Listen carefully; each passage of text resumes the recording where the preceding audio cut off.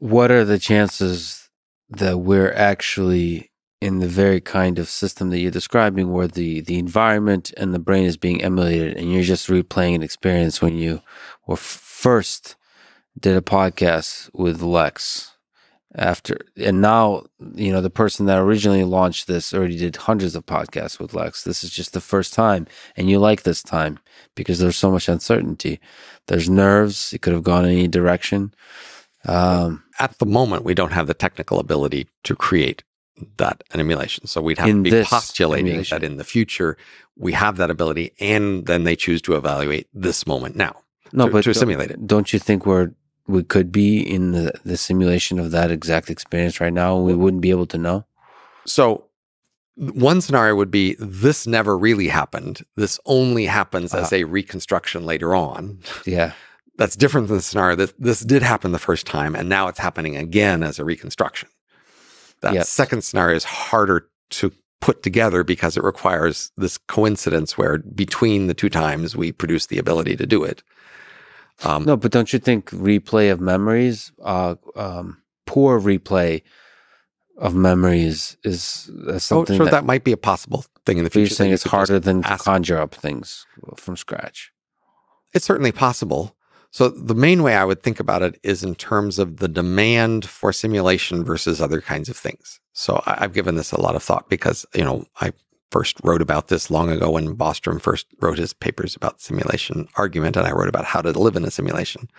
Um, and um, so the key issue is you know, the fraction of creatures in the universe that are really experiencing what you appear to be really experiencing relative to the fraction that are experiencing it in a simulation way, i.e., simulated. So then the key parameter is at any one moment in time, creatures at that time, many of them, most of them are presumably really experiencing what they're experiencing, but some fraction of them are experiencing some past time where that past time is being remembered via their simulation. So, um, to figure out this ratio, what we need to think about is basically two functions. One is how fast in time does the number of creatures grow? Mhm. And then how fast in time does the interest in the past decline? Because at any one Yeah. time, people will be simulating different periods in the past with different emphasis based on the way you think so much. That's Okay. exactly right. Yeah. So if if the first function grows slower than the Yeah. second one declines, then in fact your chances of being simulated are low. Yes. So the key question is how fast does interest in the past decline relative to the rate at which the population grows with time? Does this correlate to you? You earlier suggested that the interest in the future increases over time. Are those correlated? Interest in the future versus interest in the past? Like, why do why are we interested in the past? A sim- but the simple way to do it is, as you know, like Google Ngrams has a way to type in a word and see how interest in it decli- declines or rises over time, right? yeah, yeah, So you can just type in a year and get the answer for that. if you type in a particular year like 1900 or 1950, you can see with Google Ngram how interest in that year increased up until that date and decreased after it. Yep. And you can see that interest in a date declines faster than does the population grow with time. That is brilliant. And so that is so you interesting. have the answer. Wow. And that was your argument against, not against, to this particular aspect of the simulation, how much um, past simulation there will be. So, Replay of past right. memories. First of all, if we assume that like simulation of the past is a small fraction of all the creatures at that moment, Yes. right? And then it's about how fast. Now, some people have argued plausibly that maybe most interest in the past falls with this fast function, but some unusual category of interest in the past won't fall that fat quickly, and then that eventually would dominate. So that's a other hypothesis you Of might. some category. So that that very outlier specific kind of yeah, okay. Yeah, yeah, yeah. Like uh, really popular uh, kinds of memories, but like Like, sec- think- probably sex In a trillion years, there's some small research institute that tries to randomly select from all possible people in history or something Yeah. to simulate. Yeah. Yeah. Yeah.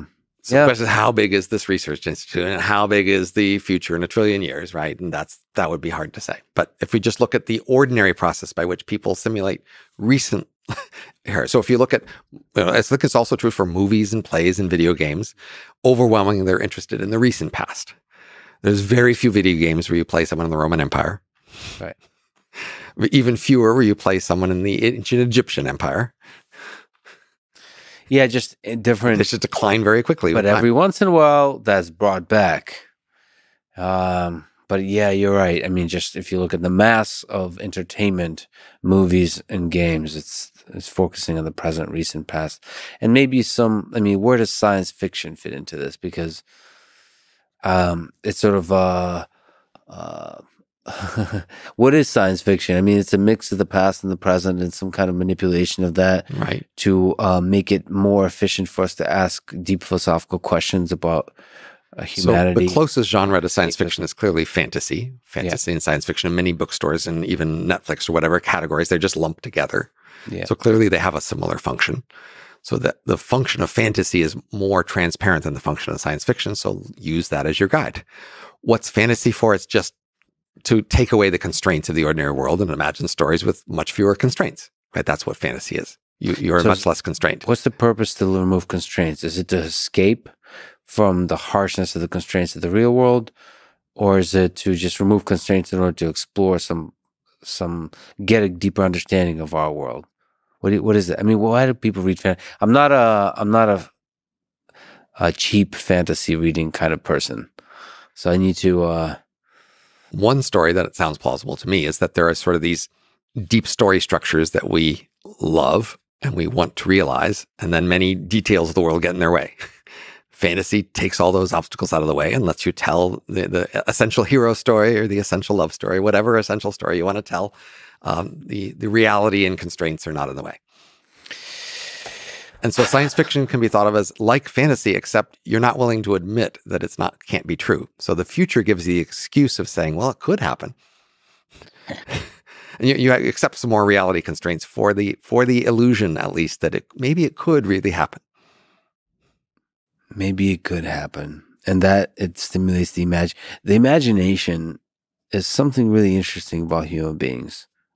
And it seems also to be an important part of creating really special things is to be able to first imagine them.